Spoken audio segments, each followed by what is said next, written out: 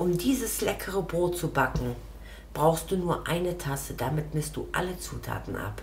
Für mein Brot benutze ich eine große Kaffeetasse. Ihr könnt jede Tasse nehmen, die ihr möchtet. Wichtig ist nur, dass ihr bei dieser Tasse dann auch bleibt. Der erste Schritt, ich fülle meine Tasse randvoll mit Mehl. Ich habe hier Weizenmehl Typ 550.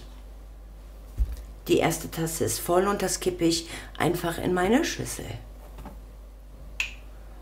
So. Die zweite Tasse und die dritte Tasse.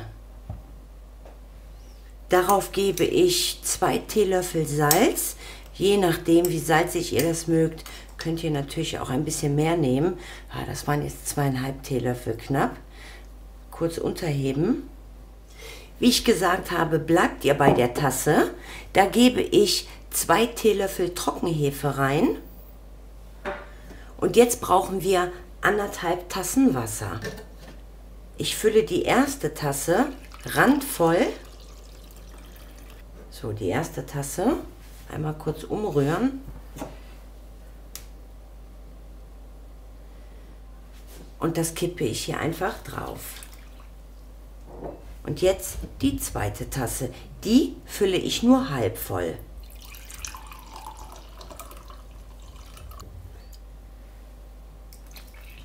Und ich nehme heißes Wasser. Und das brauche ich nur noch mit einem Löffel zu vermischen.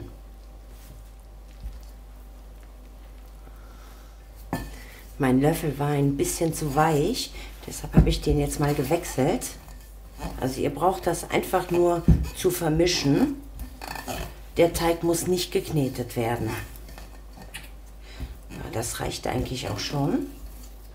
Mein Teig ist fertig verrührt. Ich brauche ihn nur noch abdecken und so lange an einen warmen Ort stellen, bis der Teig schön aufgegangen ist. Mindestens eine Stunde. Ihr könnt den Teig aber natürlich auch länger stehen lassen. Mein Teig sollte, oh ja, der ist schön aufgegangen.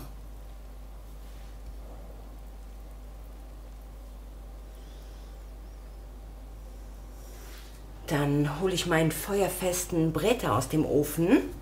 Den habe ich gerade auf 230 Grad vorgeheizt.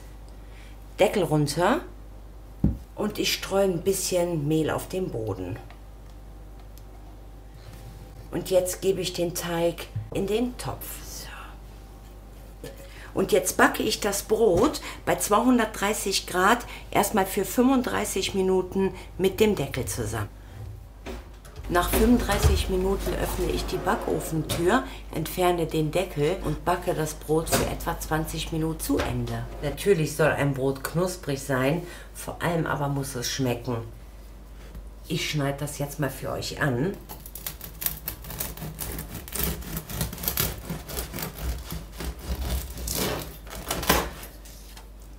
Und jetzt schaut euch das mal an, wie schön das Brot aufgegangen ist. Boah, ist das zart. Schaut mal. Seht ihr, wie weich das ist? Das sieht nicht nur so klasse aus, das schmeckt auch richtig gut. Ihr habt gesehen, wie schnell das zubereitet ist. Dafür habe ich nur diese Tasse genommen und das bekommt wirklich jeder hin. Dafür braucht ihr nicht mal eine Küchenwaage. Ja, mit diesem Rezept kann wirklich jeder ein Brot backen.